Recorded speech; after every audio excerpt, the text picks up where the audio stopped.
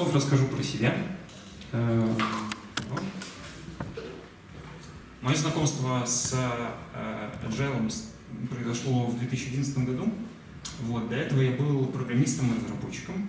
Вот, ну, вообще, 12 лет работал как разработчик. Так получилось, что большую часть времени я работал разработчиком больших довольно компаний. Вот. Э, и э, в 2011 году мой мир немного перевернулся после того, как я э, познакомился с Agile. Вот я сходил на тренинг к одному из тренеров тоже компании Unusual Concepts, Сергей Дмитриев, который был первым самым тренером в России по скраму. Вот. И после этого я пришел в свою компанию и захотел там много чего поменять. Вот. И я таким образом стал скрам-мастером, вот. И потихоньку я, в общем, там скромастерил в своей компании, потом перешел в другую компанию, поработал в разных э, компаниях как разработчик и как мастер. Потом я понял, что мне так нравится работать с командами и с, и с созданием классных продуктов, что я решил полностью уйти в тему э, работы с командами и коучинга команд и э, продуктов. И э, я уже несколько лет работаю как agile коуч, скрам тренер. И у меня есть еще такая штука, э, сертификат, я профессиональный коуч. Вот, может быть, кто-то из вас знает, есть такой.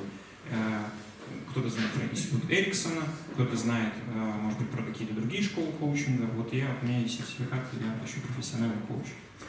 Вот, это все, что я хотел узнать, э, сказать вам про себя. Вот. Сейчас я предлагаю сделать следующее. Прежде чем мы с вами двинемся дальше, вот, я предлагаю вам между собой познакомиться.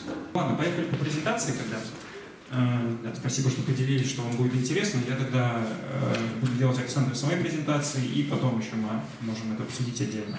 Да, про себя я рассказал. Э, да, значит, я разработчик, программист и э, скрам-мастер, сейчас agile коуч. Я работаю в компании Unusual Concepts. Unusual Concepts — компания, которая э, ну, довольно давно существует. И вообще в России, наверное, сейчас самые там ребята, которые дольше всего э, занимаются agile коучингом, то есть работают с большими организациями, с банками. Там, у нас есть несколько клиентов из э, топовой десятки банков, с которыми мы сейчас э, занимаемся э, трансформациями. Вот. Помогаем им этой трансформации, помогаем им становиться более гибкими. Вот. А, я в Unusual Concepts совсем недавно, я вообще из Питера на самом деле сам. Вот. Но у меня есть опыт работы с компанией который делает софт для одного большого оператора. Там 70 команд разработки. Я целый год, ну, вот, в общем, работал с ней целый год, с этой компанией. Могу тоже рассказывать про это. Но а, сегодня я хотел бы начать с самых истоков, да, рассказать вам про Agile. Меня попросили рассказать про историю Agile, и мне коснуться некоторых, что, очень такой, как то есть такое английское слово хайп, да, вокруг agile, очень много всякого, короче, шумихи сейчас вокруг него происходит. Вот я хотел бы внести некоторые прояснения на это.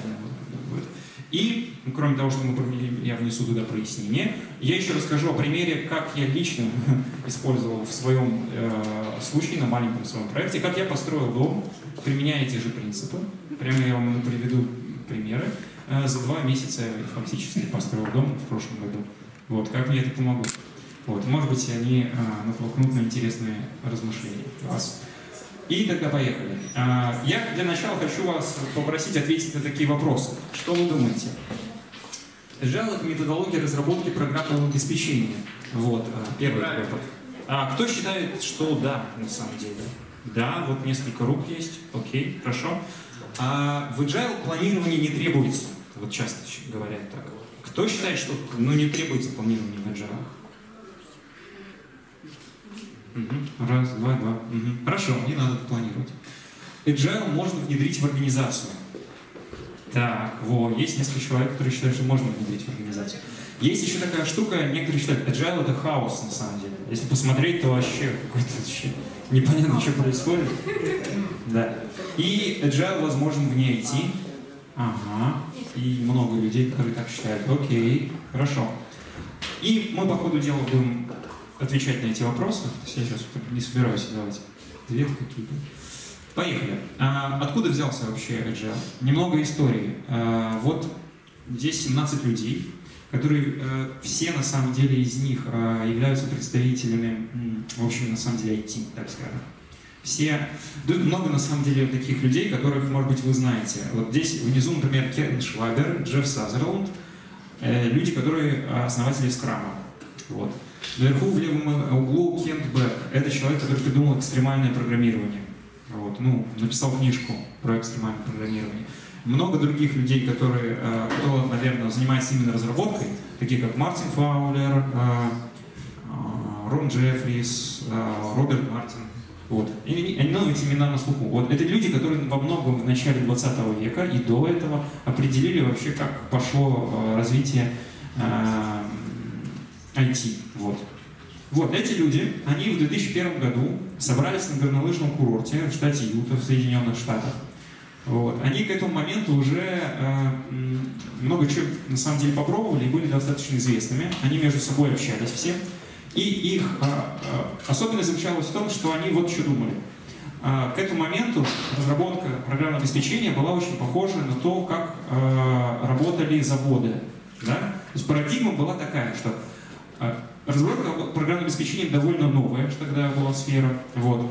И было такое мнение, давайте делать как ну, у нас производство продукции происходит. Есть определенные этапы. Аналитика, пописали код потом, что-то потестировали потом, потом приемку сделали, позвали. Вот. вот такими этапами будем работать. Еще лучше, если мы разделим этих людей, вот у нас аналитики, они сидят отдельно, разработчики там отдельно, и тестировщики отдельно, еще какие-нибудь потом внедрение и саппорт тоже отдельно. Вот, и э, вот, в общем, такая метафора, да, ну, заводская, в общем. Вот, и они, э, значит, считали, что, ну, так не надо делать, это плохо получается таким образом работать. И они собрались для того, чтобы обсудить, как работать по-другому. Вот. У них уже к этому моменту у всех были свои собственные некоторые мысли, и они как бы даже, можно сказать, течение некоторое. Они процессные фреймворки какие-то изобретали к этому моменту. Такие как Feature Driven Development, Crystal, uh, Adaptive uh, и, там, и так далее. И эти штуки сейчас уже на самом деле не на слуху все по большей части, ну вот кроме Скрама, наверное. Uh, в основном. Вот. Но, в общем, они собрались, они сначала думали, что, в общем, что-то они делают э, с точки зрения технологий, именно айтишных одинаково. Но оказалось, что на самом деле нет. И они в итоге э, то, что получилось у них в результате обсуждения, их там двух дней посиделок, это стало принципами, 4 э, ценности и 12 принципов Agile манифеста, так называемый Agile манифест. Поэтому можно сказать, что Agile, да, он вышел из IT. Окей, хорошо. А, что произошло потом, на самом деле? Вот. И вот я на самом деле сейчас прямо скриншотом брошу сюда. А, это 12 принципов Agile манифеста, про них не так часто вспоминают. Вот. И на что обращают внимание, что дальше произошло. А вот тут, ну, так как они, у них получалось все неплохо, вот, на этот манифест стали обращать внимание люди. И что они обращали внимание? Удовлетворение потребностей заказчика. Круто. Изменение требований. Но всегда они меняются. Правильно, должно меняться требования. Работающий продукт давайте чаще. Мы хотим, чтобы в компаниях наших мотивированные профессионалы работали, да? А, постоянный ритм, там, чтобы всяких выгораний не было, которые всегда в проекте, в конце проекта происходят. А, гибкость там была, чтобы все команды были самоорганизующие, чтобы менеджерам не приходилось там людей увольнять и так далее. Вот. Классно вообще, да? Вот. Хочется этого всего. Вот. И после этого э, так получилось, что Agile стал распространяться потихоньку. И э, э, появились, может быть, кто-то слышал, Agile маркетинг манифеста, Agile HR манифеста существует. Они во многом очень похожи по структуре на этот манифест, и там много слов одинаковых, на самом деле. Вот. Но э, то давайте дальше, да, что еще произошло. Вот. То, что в России сейчас очень много про agile говорят, конечно, благодаря Герману Грифу. Есть такая шутка даже среди agile коучей, что он сделал для agile больше, чем все коучи в России вместе взятые. В общем, вот для распространения. Вот. И есть еще такие вот а, смелые высказывания. Это, кстати, книжка Скрам «Делать два раза больше работы за половину времени». Это супер продающая фраза, но она на самом деле не имеет никакого отношения к скраму. Это на самом деле название книжки, которую написал Джефф Сазерланд. На русский ее перевели еще хуже, чем написали на английском. Про то, как делать э, э, революционный метод управления проектами. При том, что скрам вообще не про проекты, на самом деле, а про продукты. Вот. А, но и Джефф Сазерланд, он всегда а, как бы ходит везде и рассказывает про то, что как делать а, в два раза работы больше за меньшее время. И это тоже, на самом деле, это понимается обычно неправильно, и на самом деле звучит неправильно. Вот я расскажу такую страшную штуку. Вот, есть такие э, некоторые противоречия между Джеффом и Кеном. Вот. И э, вот такие как бы штуки, да, потом еще появились бирюзовые организации, и вот все вот это такое, как это, шума вокруг Ижева становится все больше и больше и больше. Вот. Но давайте разберемся теперь в этом всем. А, есть такая метафора, которая называется зонтик Эджера. Вот. Откуда она взялась? А, если мы будем говорить про вот тех представителей, которые все собрались в 2001 году на самом курорте в штате Юта, вот, они, э, вот здесь вот на самом деле различные те фреймворки, те методы конкретные, с которыми они использовали при разработке программного обеспечения, они здесь все, ну, по большей части перечислены. Потом еще добавился Kanban, благодаря участию Дэвида Андерсона, вот, э, потому что Kanban пришел из Toyota на самом деле, вот. И э, что мы здесь можем сказать? Что под этим зонтиком собрались различные конкретные реализации. Вот если мы посмотрим на Agile Manifest, он говорит нам больше про что. Вот давайте я немножко вас поспрашиваю. Про что Agile Manifest? Ну, это философия о том, какие ценности разделять. Ага, да, философия. Хорошее слово – философия. В английском слове есть еще слово mindset. Да? Философия. Вот.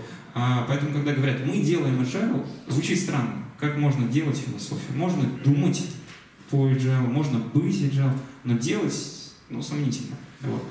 Зонтик agile олицетворяет то, что э, вот эти ценности все, да, если, э, что все эти ценности, они э, присущи, да, и должны на самом деле лежать в основе любых реализаций э, конкретных процессных каких-то фреймворков.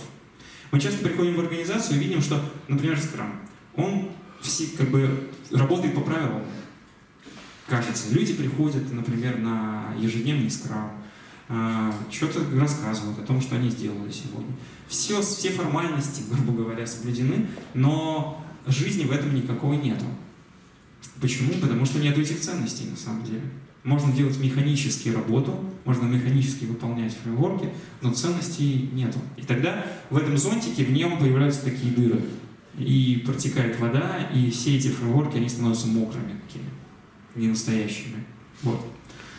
А, и вывод какой главный? Если мы опять вернемся на, назад немножко здесь, а, на самом деле так получилось, что действительно а, Agile как бы произошел от людей, которые были айтишниками, но здесь разговор идет не о том, а, как не что-то связано именно с IT. Да? Эти ценности для чего нужны? Для того, чтобы делать э, классные продукты. Правильно? Вот. А, для того, чтобы давать бизнесу вот эту гибкость и так далее.